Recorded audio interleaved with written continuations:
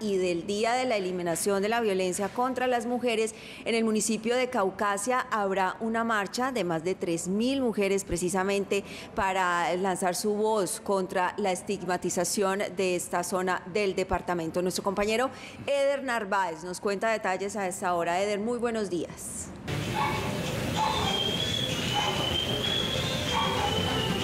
Hola, buenos días en estudios y también para todos los televidentes. Caucasia en el día de hoy será el epicentro de la gran movilización Mujeres por la Vida, la desmilitarización y la no estigmatización del territorio. Y precisamente para ampliar esta información voy a conversar con Kelly Echeverri Alzate. Ella es la coordinadora regional de Antioquia del programa Ruta Pacífica de las Mujeres. Kelly, bienvenida a Consejo de Redacción y háblanos un poco en qué consiste eh, estas actividades que van a realizar ustedes el día de hoy. Eh, muchas gracias a Antioquia por sumarse a este llamado. Hoy 3.000 mujeres, más de 3.000 mujeres estaremos aquí en Caucasia movilizándonos por el respeto a la vida de las defensoras y activistas de derechos humanos en el marco del Día Internacional de la Eliminación de la Violencia contra las Mujeres. Esta es una movilización por la vida, por la vida de las mujeres y para que ponga también en discusión y en reflexión pública nacional las situaciones que vive el Bajo Cauca en el marco del conflicto armado.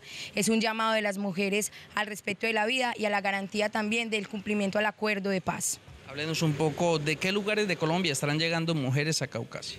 Bueno, eh, hemos recibido mujeres del Putumayo, del Cauca, del Valle del Cauca, de Santander, de Barranca Bermeja, eh, más de 35 organizaciones de todo Antioquia se han sumado a este, ocho regiones del país, Bogotá y por supuesto toda la subregión del Bajo Cauca ha recibido esta movilización. Se han integrado a ellas mujeres del Bagre, de Nechí, de Zaragoza, eh, de Cáceres, de Caucasia, de Tarazá y también 12 municipios del norte de Antioquia. Entonces, esta es la gran movilización, nunca antes vista en esta subregión y estamos muy contentas también por la acogida que hemos tenido en este municipio.